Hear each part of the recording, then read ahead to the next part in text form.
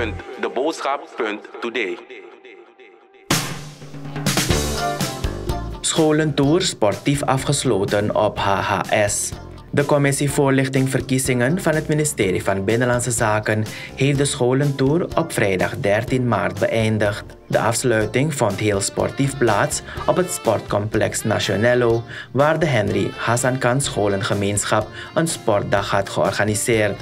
Met de scholentour had de commissie als voornaamste doel om vooral de first en second voters te bereiken en zoveel mogelijk voor te lichten over de verkiezingen van 25 mei 2020.